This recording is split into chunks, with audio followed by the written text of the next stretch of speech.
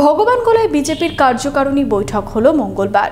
বিজেপির দলীয় কার্যালয়ে জেলা স্তরীয় এবং স্থানীয় নেতা কর্মীরা উপস্থিত ছিলেন।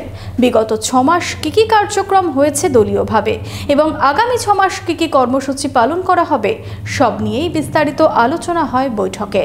ভারত মাতা কি? ভারত মাতা কি? কার্যকারিণীর অর্থ হলো যে আমরা বিগত ছ মাস দলের পক্ষ থেকে কী কী কার্যক্রম করেছি আর আগামী ছ মাস আমরা কী কী কার্যক্রম করতে যাচ্ছি, এইটা নিয়েই মূলত কার্যক্রম, এই নিয়েই বিভিন্ন নেতৃত্বরা আজকে এখানে বক্তব্য রেখেছেন।